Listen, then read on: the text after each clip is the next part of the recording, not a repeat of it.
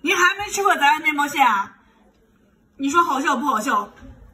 这么好的面包蟹啊，虽虽然是熟冻的，但是只只都是带黄带膏哈，特别好。这个是什么味儿？鸭蛋黄的味道。这么好的面包蟹啊，千万不要错过。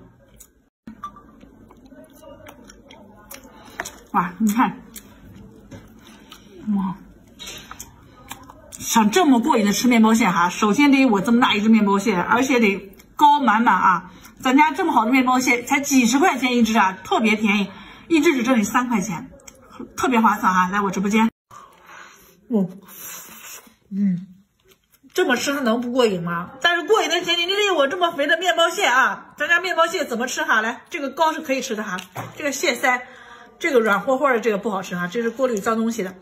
这个底下还有这种西黄哈，这个是可以吃的。还有。